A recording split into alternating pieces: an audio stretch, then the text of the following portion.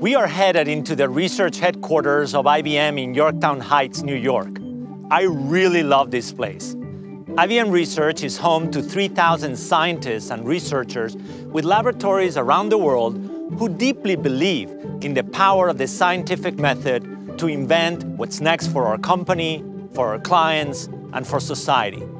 Over the last couple of decades, I've gotten to visit and engage with the teams at many of the great labs around the world. And while I must confess my bias, I really believe there is no other place like IBM Research. The truth is that technology can be considered any device or process that makes something easier or better or faster.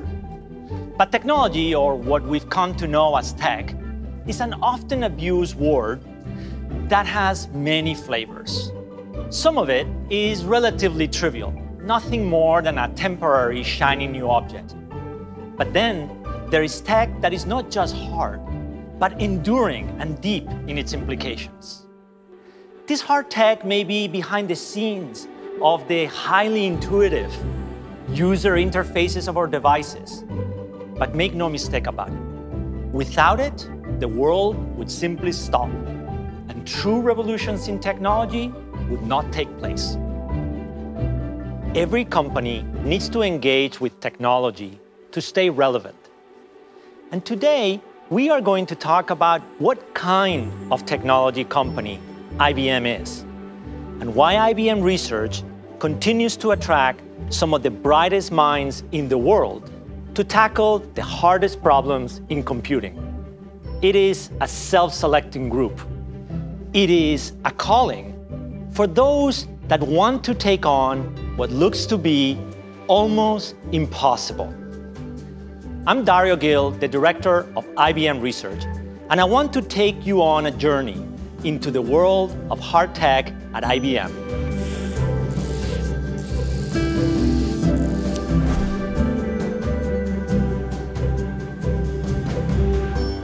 At IBM, we invest in and create the fundamental technologies that power the world of computing.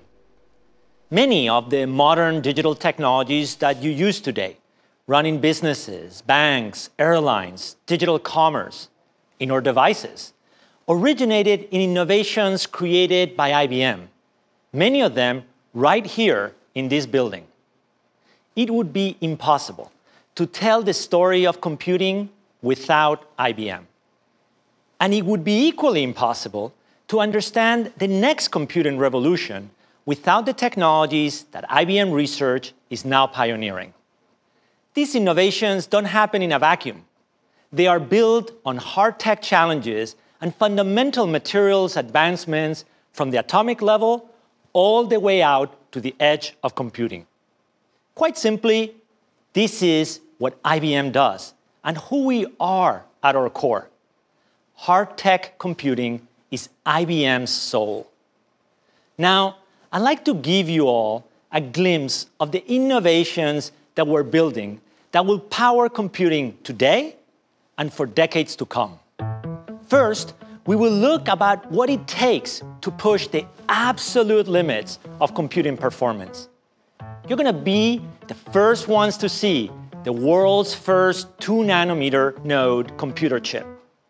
Next, we'll check in with our quantum computing team to talk about how we have created machines that calculate as nature does. We will show you the latest advancements in quantum computing hardware and software as we work towards building our 1,000 qubit plus machine in the next two years, and at the same time, make it as easy to program these powerful machines as it is to use today's programming tools.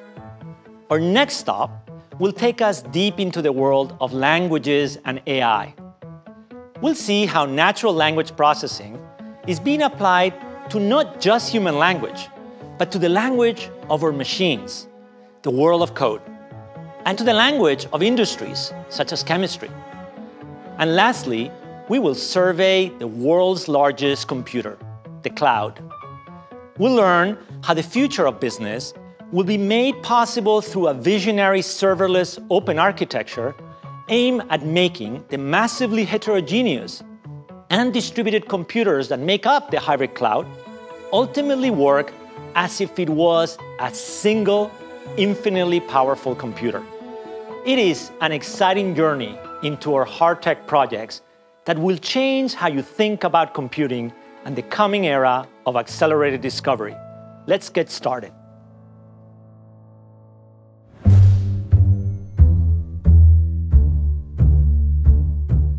We are in Albany, New York, at the most advanced collaborative semiconductor research facility in the world.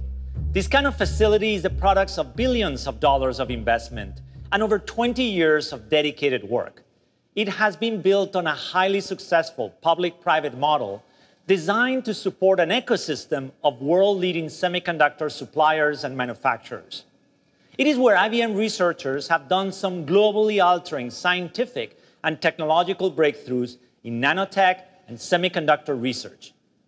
Many of you may not know this, but my early research at IBM was in the field of nanotechnology and lithography. You probably have heard about the field of nanotechnology. The field of lithography is a bit more obscure, but it is at the heart of why computing gets better and cheaper decade after decade. Mukesh Khare, one of the most respected leaders in the field of semiconductor research, is going to share how we're building the chips of the future. We're going to get a chance to talk about one of my favorite subjects for hard tech, semiconductors. Uh, maybe we could start by discussing how are chips made? Well, Dario, it may not be immediately obvious, but transistors, the basic unit of computation on a wafer, is printed. Wafers are sawed out of cylinders of pure crystalline silicon, then polished to mirror-like finish. With lithography, we are able to print and ultimately etch billions of transistors onto a wafer with atomic precision. A high energy laser fires on a microscopic droplet of molten tin and turns it into plasma, emitting extreme ultraviolet light, which then is focused into a beam.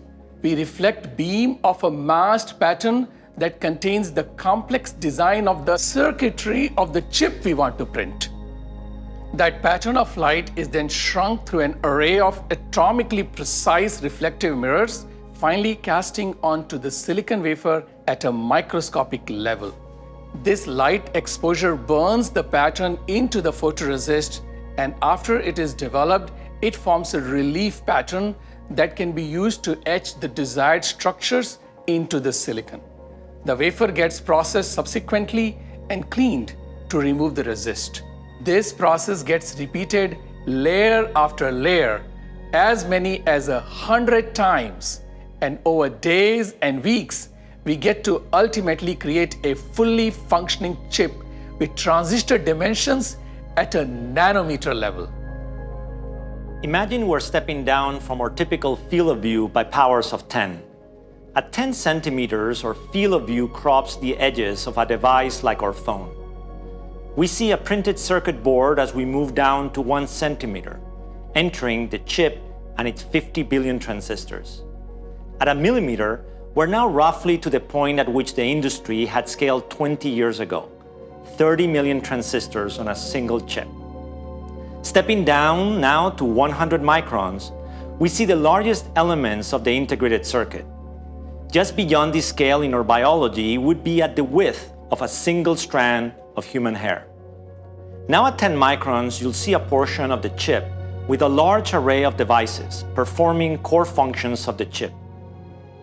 Passing beyond the nucleus of our cells at 1 micron, we continue to travel down deeper till reaching 10 nanometers, the scale of the very fabric of our makeup.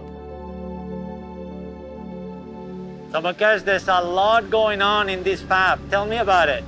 We use lithography technology to build a basic device for computation called transistors. Working together with our talented research team and many partners, we have pioneered a new transistor structure we at IBM call this nanosheet, which has become the foundation for every chip manufacturer's future chip generation.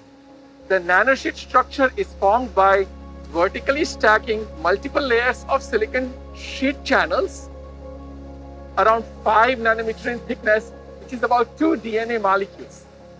In 2015, we were the first to create the world's first 7 nanometer test chip. A few years later, in 2017, we did it again, creating the 5 nanometer test chip where we first introduced the nanosheet technology to the world.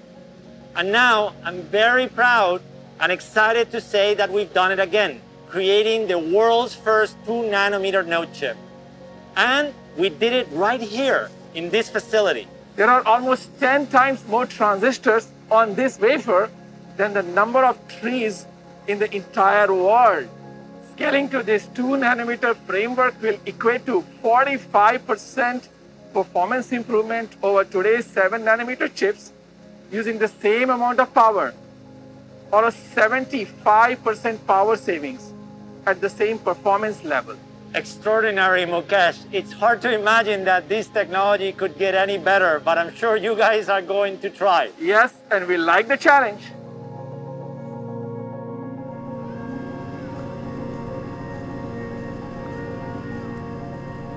These continued technology advances ensure an enduring platform for both our own hardware and systems, but also the entire technology ecosystem.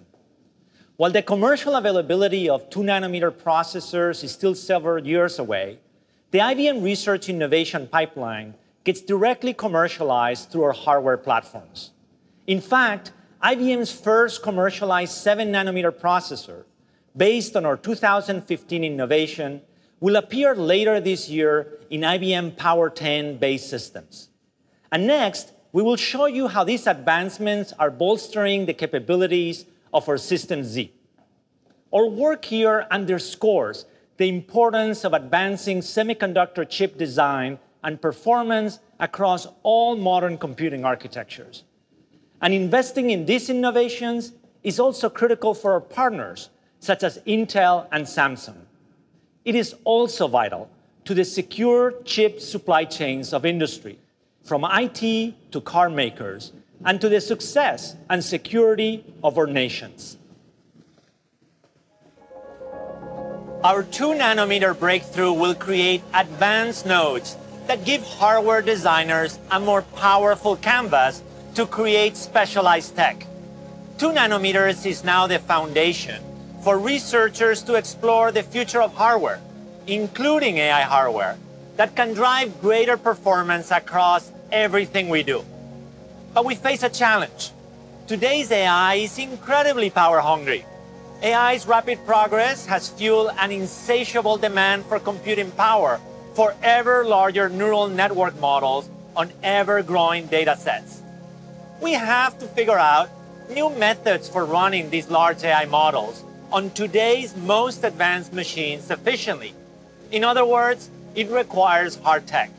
IBM fellow Donna Dillenberger has been innovating in systems for years, and it's here to tell us more about what makes System Z such an amazing machine. Hey, Donna, how are you? Good to see you. Hi, Dario. So you're a world-class systems researcher. So tell us, what makes IBM Z, these systems, so special? Z is known for its speed and its scalability. The Z15 was built with 9.4 billion transistors. With that type of power, we can run OpenShift workloads at 4.7x higher performance, 4.4x lower latency, with 34% less cost. It also runs 1 trillion transactions a day. It does that with half the energy that other servers require. It's the greenest server in the planet. It also has the highest availability. Z stands for zero downtime. There are clients that have never had an unplanned outage in years while a Z server is running, you could pull out its memory, its processors, its I.O. drawers, and it will still run. Yeah, what a marvel of a machine, right, in terms of transaction processing. But what about the world of AI? What can it do for AI? AI could be done in Z with millisecond response times. You have these transactions just being thrown at the server, 20,000, 30,000 transactions a second. No other server could do that and run AI embedded in real time. Wow, Dana, the green transactional power of Z combined with AI and security makes it like a marvel of engineering. So I want to thank you, Donna, for the amazing work that you do and that the team does to make the best computer systems in the world. Thank you and see you soon. Thanks, Dario. The progress being made to advance the performance of classical computing is truly amazing. The two nanometer node chip we explore represents the absolute cutting edge of computing technology and proves that the power of bits continues to be remarkable. The way we are pushing computing to excel in AI workloads will allow pervasive and interconnected intelligent systems to provide extraordinary value. And these advancements are not just science for science sake, but for real business outcomes. It's how our research provides the technological innovation behind IBM's most advanced systems available today.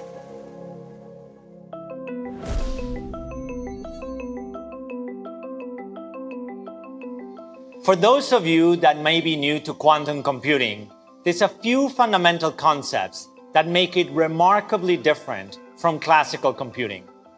We're all familiar with the term bits. It's the fundamental unit of information that classical computers use today. We've seen endless representations of this binary system in the string of ones and zeros that people come to think of as data. However, in quantum, the fundamental unit of information is called a quantum bit or qubit. The basic idea is that this qubit could carry information quantum mechanically, or in other words, the same way that nature carries information. Simply put, a qubit is not bound to a binary system of information like ones and zeros. And that very simple difference is what makes quantum computing so powerful and so complicated for you to truly appreciate what we've achieved, I'm going to introduce you to two physicists who can tell us more about how we got here. So Jerry, an exciting quantum research lab. Tell us, what did it take to build the first programmable quantum computer on the cloud in 2016? Yeah, so really, in order to be able to get a system on the cloud, we started a lot in labs like this, right, where we're working on fundamental research and understanding how to make the underlying qubits better, reproducible, reliable, and stable. So we had to work on a lot of things to basically make them to be usable and actually accessible from anyone on the cloud. Right. Now, it's actually very interesting looking back where, where we are today from even a decade ago. If you take a look right here, this was state of the art in terms of our qubits in 2011. So, uh, so what happened since then? Okay, so that was a decade ago. Then 2016, first computer on the cloud. And then what happened in the last five years? Yeah, so really in the last five years, it's all been about actually deployed real systems. We've, we've deployed over 30 systems in this, in, since 2016, over 20 systems accessible right now through the IBM cloud, serving 150 clients, over 300,000 users, running over a billion executions a day. Wow. So that, I mean, that is amazing to just see that and just realize that now there's over 20 quantum computers. It's just an amazing progress. So what's next? Yeah, so really now what we're doing is we're building up towards new generations of systems. Last year we had the 65 qubit machine, Hummingbird. This year we're going to have an Eagle processor over 127 qubits and moving towards 2023 over 1,000 qubits a thousand qubits. Are we going to get a chance where that can be built? Uh, well, that, that's going to be built in this lab here, but then we're even looking beyond that, right? So we need to look even, how do we go beyond 1,000 qubits? So this is SuperFridge. Our project really to build a refrigerator that's going to be large enough to give us runway beyond 1,000 qubits. Yeah, so Jerry, so what are we seeing here? What is this giant thing? so uh, in, in the other room, we saw that there are actually these dilution refrigeration systems that allow us to cool down our qubits, our quantum processors, to 15 millikelvin. Uh, and but like, how cold is that? That's many, many times colder than it is in outer space. Okay, but the point is that in order to actually cool them down, we also have all these other components that are part of it. So there's wires and there's uh, filters and, and, attenuators, all these different components. And as we scale up along that roadmap towards 1000 and beyond, there's just more and more stuff. And so planning for, say, even up to a million qubits, we need to build bigger refrigeration systems, and we're doing that right here. So it is a testament, though, of what it takes to succeed in quantum computing. You have to invest for a long period of time on these sustained roadmaps. And it's also a reflection of the, the theme of today, of talking about hard tech in computing. And I gotta tell you, Jerry, the work that you and the team do It is the hardest form of tech in computing, and I want to thank you for all the fabulous work and keep up the great results. We're going to be now talking to Jay Gambetta about how we are putting quantum to good use. Hey, Jay, how are you? Good. Good. Just came back from uh, spending some quality time with Jerry, and uh, it brought back memories of the launch of the IBM Quantum experience. And it's a story that is not just about hardware. It's a huge software environment that makes all of this possible and makes quantum computing a reality. So first, what was a, a memory of that time in May 2016? I think what I learned most, and I learned a lot, was there's a big difference between doing a science experiment and building a practical system. Yeah, because in the end, there's a difference. Once you expose it to that first week, you went from a few dozen people to thousands of people using the system. I mean, and the numbers are, are now what?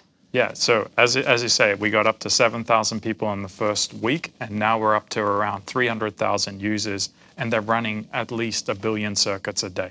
You brought up quantum circuits, and sometimes people get confused about what is a circuit. They imagine some physical connecting thing, but, but circuits, it's a, it's a software construct uh, behind the scenes. What is a quantum circuit?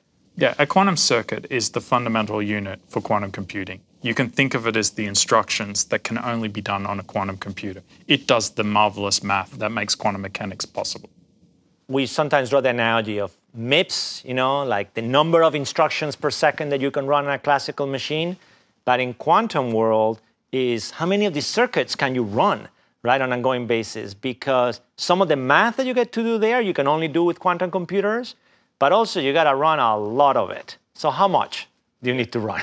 So you can think of uh, quantum computing as I need to run like a billion of these circuits. So take this uh, this uh, Nature paper from 2017 that we did. In this, we actually ran around 4 billion circuits. So let's take a billion circuits as a typical application. And if you think about that, if I need to run a billion circuits, and I have to wait a microsecond for it, that means I'm going to run it in basically 16 hours or so. If I need to run it at a millisecond, it's going to be about 11.5 days. So now you see how fast I can run these circuits really matters for doing these practical applications. So I think that that's not widely appreciated, right? Any practical application, machine learning or chemistry or optimization that you want to leverage the power of quantum systems, you're going to need to run hundreds of millions or a billion quantum circuits iteratively, right, to get to your answer. One of the reasons I really love the superconducting system is the fundamental physics allows us to run these with fast gates, fast reset. In fact, our latest uh, Falcon processor has an update that gives you ability to reset the qubits in less than a microsecond. And you asked for the comparison to ions. Ions have done wonderful demonstrations. They keep pushing the fidelity. They're great. But at the moment, their time to cool and get their trap ready, so to get the quantum two qubit gate to happen, takes 100 milliseconds typically. And this is a big challenge for them. They've got some great demonstrations that are showing some ways to get beyond it, but at the moment, it's really, really slow for them to run it. And this is why, for a superconducting technology, we can imagine we can run our circuits at a much faster pace. But again, it's milliseconds versus microsecond. There's a factor of a thousand x there. So let's bring it back to an application you're saying to like be able to reproduce state-of-the-art results, so say of a chemistry experiment, but that would be true for machine learning as well. You're talking then down the road of comparing technology that would deliver you result in tens or hundreds of days versus being able to do things in days or hours. That's the difference. This is uh, one of the reasons we like this technology because we can see how we can build a business on it. We, will, we, we can run for the users maybe thousands of apl uh, applications per day with all the systems we have, and we can see that we'll be able to get lots of results. Whereas I look at these ions as a great example of a, a scientific experiment. It gets us to today's announcement, right, of something called the Qiskit runtime. You had you know, set the goal for the team of achieving a 100x speed up. So tell us what it is. Yeah, so I, I, would like to correct you slightly. We got 120 times, and it's a combination of the runtime, better devices, better software, and some algorithmic pr- improvements. I'm very happy that we got what we promised. Hey, I, I love to be corrected when it's better. but let me, show, let me show you how it works. Okay, let's take a look. For this problem, the first step is the user needs to define a molecule and its electronic structure. The next step, the user needs to specify the quantum program and the circuits that will be used. Then the user constructs the VQE program that they want to run. This is based on the Qiskit runtime as we talked about. Now they simply just call solve. So now, here's where the fun starts. The quantum computer is now this quantum system plus a hybrid classical server plus the user's computer. Let's start with the user in San Francisco. The runtime program now goes to the user's computer through the cloud, and it actually, in our case, goes to the IBM cloud that's in Austin, where it's authenticated and sent to the IBM Quantum Data Center in Poughkeepsie. Here, the runtime manager starts. It sets up this new container program, and this does the classical computing and makes the circuits to be run. As you see, there's lots of circuits that are being sent to the quantum systems. These are run on our quantum systems, and the results come back, and you'll see there's lots of zeros and ones. Now it goes to the classical server again, and it processes those results. And if the algorithm calls, it resends those circuits through to the quantum system, and it comes back again, processes the results, gets the final answer, and sends it back to the user that's in San Francisco and now they see, as in this example, the chemistry plot. I think everybody's going to be feeling a sigh of relief to say they're not going to need to know quantum mechanics to benefit from quantum computing. Um, but this vision is powerful, right? Because you're going to run your everyday program that you like, and behind the scenes, this is what's going to enable right through this runtime. Yeah.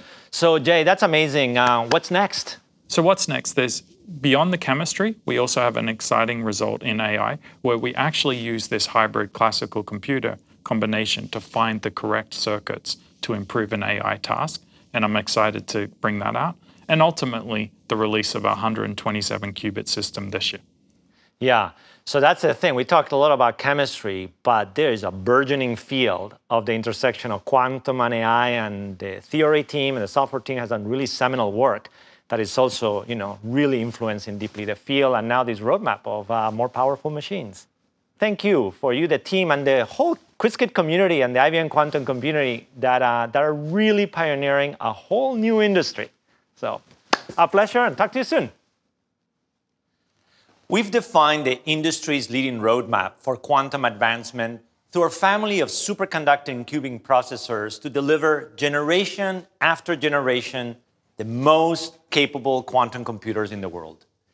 A new system every year with the goal of unleashing the era of quantum advantage, where we aim to achieve computational speeds that will drastically exceed classical computers. We're making the hard tech of quantum frictionless for the user. That's why we've curated, created, and nurtured a global quantum community through our open source software Qiskit the world's most popular software development environment. It has helped usher a fast growing quantum developer community. And we brought the power of all of this to business with our IBM Quantum Network, a global network of quantum computing partnership consisting of hundreds of businesses, startups, institutions, and governments. It's been an incredible journey so far, but know that we're just getting started. We invite you to join us to benefit from the growth of the quantum industry that IBM is pioneering.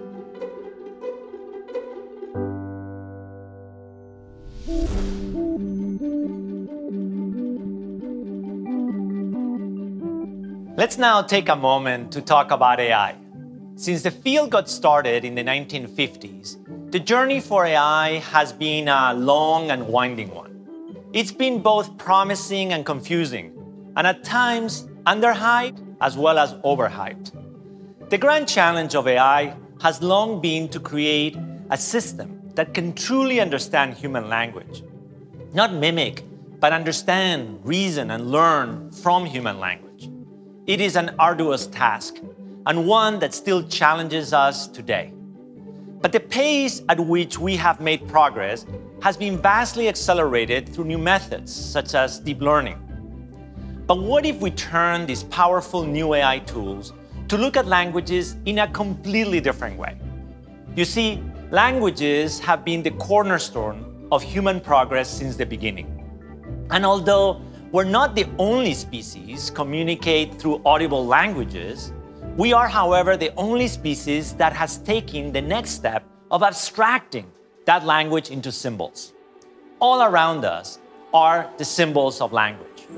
From the typographic characters of our spoken language to the numeric symbols representing the properties of mathematics to the diagrammatic maps displaying the chemistry and arrangement of molecules. Languages surround us. They help us think and reason, then allow us to share those thoughts with others. Now, we have seen the power of AI applied to human language.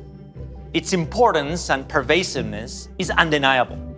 But at IBM Research, we are also exploring how to teach AI two new languages and their exciting implications the language of code and the language of chemistry. This is where AI's journey is about to accelerate.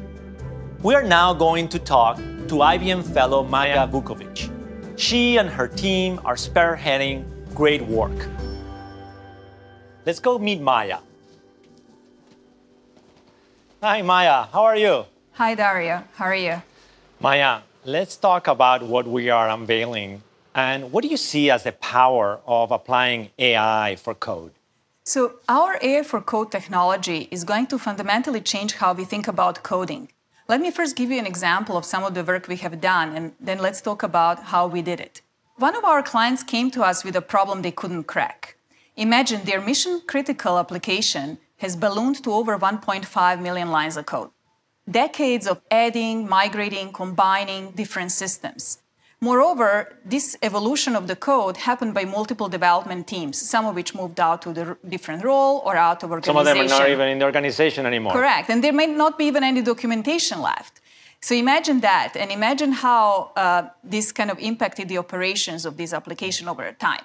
So uh, the client put a team dedicated to understand how this code works and understand which parts could be made leaner, which parts could be better built to take the ad- advantages of the cloud's agility. And it took them over two years of trying uh, without a result. And why is that? Well, we as humans, we are not built to go and look through 1.5 million lines of code and understand right. what business functions are buried in there. But luckily, AI is there, and AI is very good at this. That is a gnarly problem. So, how did we apply AI for code to actually solve this problem? So, we built an AI model that helped us in a very short amount of time to comb through all the code in this application. So what the AI model helped us not only identify just which parts of the code are obsolete or no longer in use, which parts of code are redundant, and also which parts of code can be grouped in a better, more manageable groups of code or rather microservices.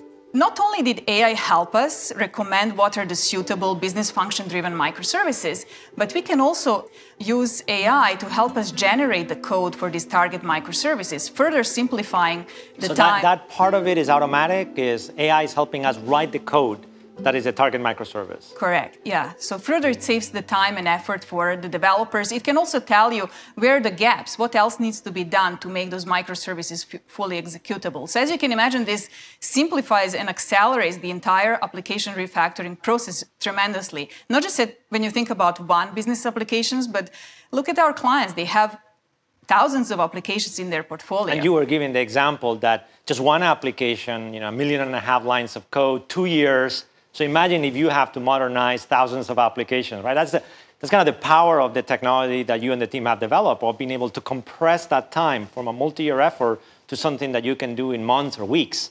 Yep, and this is, you know, as you said, it's where the AI is very good at. It's amazing technology, and I'm just very excited about the impact that this is going to have for our clients' application modernization efforts.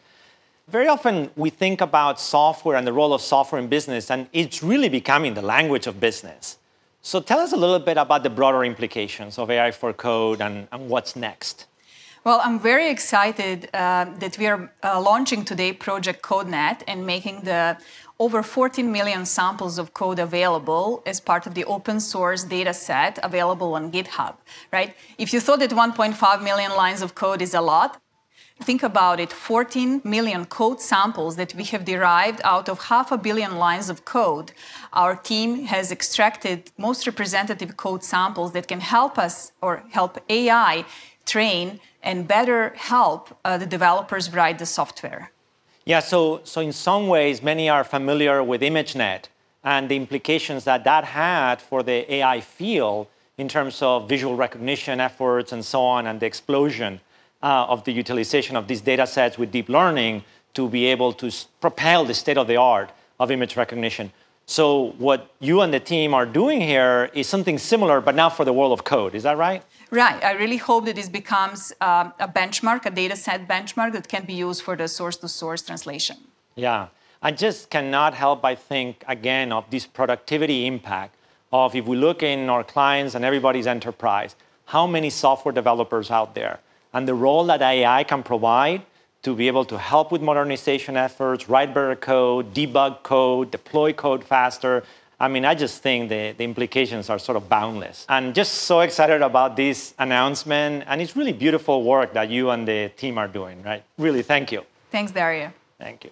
So, from learning about the implications of teaching AI the language of code, we're going to now have the opportunity to learn how AI is learning a different language. Let me share with you another piece of tech in which AI is learning a different language, this time the language of chemistry. Leading much of this work is Teo Laino and his team in Zurich, Switzerland. Hey, Theo, few uh, uh, you know, in the world know or associate the world of chemistry with IBM. But now what's very exciting is that we are training and teaching AI the language of chemistry, and you've been a, a pioneer in, in doing that. Can you tell us a little bit how that works? Indeed, Dario. We have been able to learn uh, how to teach the language of chemistry to the AI architecture. And uh, the result has been a way of accelerating discovery for designing new materials uh, that instead of taking uh, years and millions dollars budget can now be designed and synthesized uh, in uh, weeks or months. So what is, what is uh, Teo, the technology behind when we say AI? What kind of technologies behind the scenes are we using to do chemistry? Let me go a little bit deeper into uh, the, the heart of the technology. The very first thing is that we used AI uh, and more specifically natural language processing architecture to curate uh, all the chemical records from uh, publicly available chemical unstructured records. Yeah, and the, and the parallel, perhaps for everybody to understand, is that in the context of human language, let's say translation, right, between, say, Italian and English, uh, we would have historically curated large amounts of human translated documents, and then we would have trained these neural networks to be able to do that mapping for us.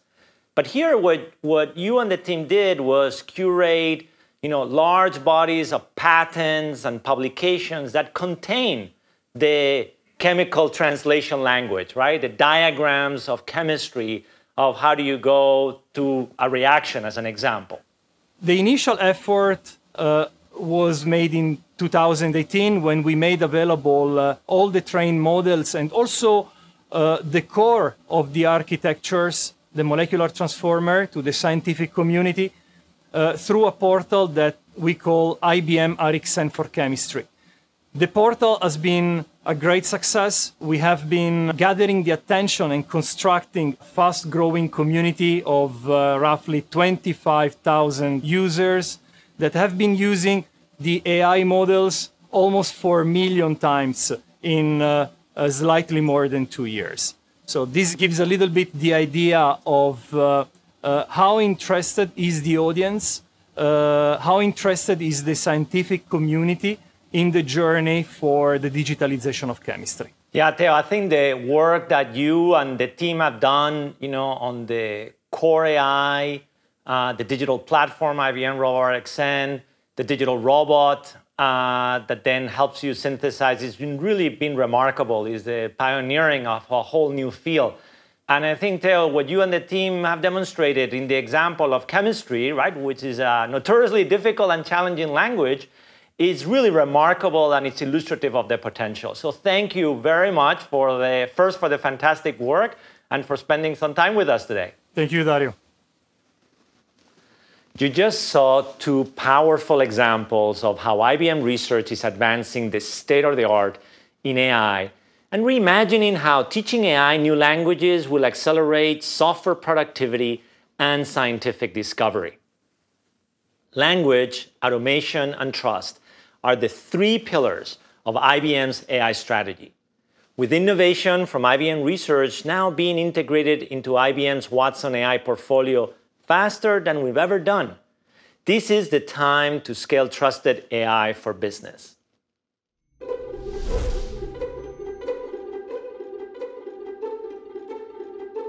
Our journey today started by inspecting the world at the nanoscale as we flew through IBM's latest groundbreaking work in semiconductors. Now, for our last stop, we're going to widen our aperture and talk about the world's largest and most powerful computing resource ever created, the cloud. Let's take a second to visualize it. This globe shows the major data centers of the world's top public cloud providers. Hundreds of locations in dozens of countries that spans nearly every continent. However, this only paints a portion of the picture. What is not being shown are the massive number of private computing environments that exist in silos across the globe. The cloud has dramatically evolved over many years to what it is today, a massively distributed network of public and private data centers comprising zettabytes of computing power and data storage. For us to fully appreciate the engineering and networking marvel that is the hybrid cloud, which combines public and private environments, we must appreciate the software that runs it. Enter the world of hard tech software. Hey, Priya, how are you? Hi, Dario. How are you? It's so good to see you. I remember a couple years ago when you were telling me, Dario, for all the progress of what's happening on cloud, we gotta get to the point where we get the cloud to work as if it was a single, infinitely powerful computer. So, what do you mean by that? Well, Dario, think about the simplicity of just working on your laptop. You have a common operating system, tools you, you're familiar with, and most importantly, you're spending most of your time working on code. Developing on the cloud is far from that. You know, you have to understand the nuances of all the cloud providers. There's AWS, Azure, GCP, IBM private clouds. You have to provision cloud resources that might take a while to get online. And you have to worry about things like security and compliance and resiliency, scalability, cost efficiency. It's just a lot of complexity. When I think about the heterogeneous nature of the cloud, everything from large data centers to the edge, all this complexity that you're talking about, is there a prayer that we can actually address it and realize this vision? Yeah, indeed. I think it's one of the greatest challenges that we should solve right now in computer science to harness this tremendously heterogeneous and distributed system I think there are two key elements to a good software architecture for this. So first is open technologies, and the second one is the right software abstractions. Now, open technologies, because you know proprietary software stacks from different vendors not only add to all this complexity, but they stifle innovation. Uh, key software abstractions start with the operating system, which is Linux. So as you know, Dario, Linux as the operating system for the data center era really unleashed this proliferation of software, including uh, virtualization technologies like containers. And that ushered in the cloud era. Now, hybrid cloud is no different. We now need a distributed operating system provide us that common layer of abstraction across these heterogeneous and distributed cloud resources. And Kubernetes is the open technology that's emerging as the winner in this evolutionary battle. So you have Linux, containers, Kubernetes. So these are the open technologies. And um, you know, when it comes to enterprise-ready, supported, the most secure versions of this software, you have Red Hat Enterprise Linux, or RHEL, and OpenShift. This is our hybrid cloud platform, and this is the foundation for our cloud computer. So that is the, the path to be able to wrangle this complexity into something that gives you productivity. But you and the team are also pushing a vision that goes even beyond that, this world of serverless. So, what is it and why is that so exciting? That's right. So, serverless, serverless technologies, that's the key to realizing this vision of the cloud as a computer. So, there are three key attributes to serverless. The first one is ease of use. and there's on-demand elasticity and pay for what you use. So let me give you an example. So take a simple data prep task on the cloud, which is fairly common. But the data in this case could be coming from anywhere, literally, edge environments, for example. And to make this as simple as a command you could issue on your laptop, a lot of things have to happen under the covers. And today, it's the developers and the data scientists doing these things manually. So I have to worry about do I have access? Am I allowed to move the data? Where are the API keys? How many containers should I spin up? And this is what I spend most of my time on.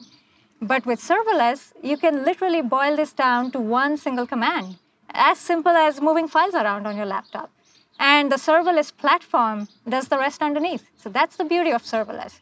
And we are pushing this vision forward today in the Knative open source community. And just like with Linux and Kubernetes, uh, there is a supported enterprise-ready version of Knative that's available on OpenShift today. It's called OpenShift Serverless. It's also available on IBM Cloud called Code Engine. So you can try these out today, but we continue to push this evolution of serverless, and it's getting us closer and closer to that vision of the cloud as a computer. Yeah, the cloud as an infinitely powerful computer, but working as if it was a computer. Exactly. I love the vision and how you and the team and the extended Red Hat team and the whole open community is making this a reality. So thank you, Priya, for everything that you do and for the fantastic work. And I look forward to talking to you soon. Thanks, Dario. See you. We are well down the road of executing our vision of making the world's hybrid cloud resources as easy to use as a single computer. When we do, we will finally realize the full revolutionary potential of the cloud. The ability to get what we need when we need it down to the millisecond with the click of a button. Today's Red Hat Open Hybrid Cloud Platform, built on Linux and Kubernetes, provides the essential interoperability layer to seamlessly blend the computational powers of high-performance computing, AI, and quantum across cloud providers and across public and private environments, all the way to the edge. It is a computing architecture that will enable us to discover faster, solve more complex problems, and push not only science, but business to new frontiers. I hope that what you've just seen makes you reflect on what it means to be a tech company the kind of tech IBM does, the types of problems we're attracted to, those define who we are as an organization. We took a journey that spanned nanotech and semiconductors, the world's most secure and highest performing transactional systems, now also infused with AI, and quantum computers with implications so profound that they are branching the category of computing itself. We explored how it all comes together through a visionary serverless open architecture built on Linux and containers designed to ultimately make the massively heterogeneous and distributed computers that make up the hybrid cloud work as if it was a single infinitely powerful computer. Each of these technologies has vastly different methodologies and complexities. But what ties them all together is that they collectively represent the future of computing. I want to close my time with you by sharing a reflection on why I focus so squarely on computing, about why computing with a capital C matters. It comes from another institution I love, MIT, one that has also deeply shaped me. Just a couple of years ago, the Institute came to the conclusion that a new college needed to be created, one that would be the most significant change in their last 50 years. They thought long and hard about what to name it, ultimately settling on the College of Computing. Not the College of AI, or of cloud, or of quantum, but of computing. The core vision is both simple and profound that all future professions be it of an architect, an economist, an engineer, or a scientist, will be defined by each of their disciplines plus computing. This has been the IBM story for over a century. It is the story of computing and its impact on business and society. And we have as strong a pipeline of innovation as we have ever had, now multiplied by the power of open innovation. Our vision of combining the capabilities of high performance computing, AI, and quantum in the hybrid cloud is a game changer for how we can use computing to accelerate the discovery of new solutions. Problems long believed to be out of reach are finally being dusted off and looked at anew. I believe that this will bring about a new era of accelerated discovery that will allow us to scale the scientific method across business and society. Discovery driven endeavors and businesses making extraordinary breakthroughs and innovations. My colleague Michelle Browdy, IBM's brilliant general counsel, summarizes the character of IBM as a company that brings innovation with trust and empathy to our clients. It is a model of working that brings me great joy as an IBMer and director of IBM Research. I hope you enjoyed taking a look inside our labs. It's been my pleasure to give you a glimpse of the amazing work being done here at IBM. Gracias.